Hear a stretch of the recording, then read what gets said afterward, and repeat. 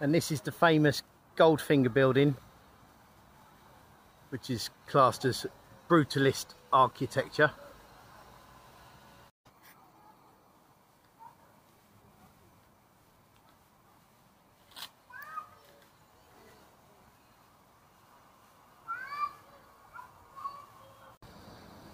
So this is the Westbourne Park paint area. I can't get in here, they've locked it off at the moment. But if I walk around the sides I can get what I need, so it's not too bad.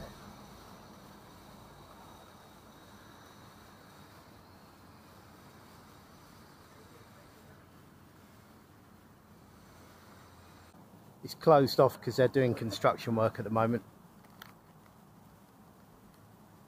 straight ahead I can see K-Bag, Trip and Lover. These three people were killed I think a year ago or maybe two years ago on the line, uh, both uh, killed by a train. So that's the pit, hope you enjoyed it. And I'll see you for the next video. Take care, thanks for watching.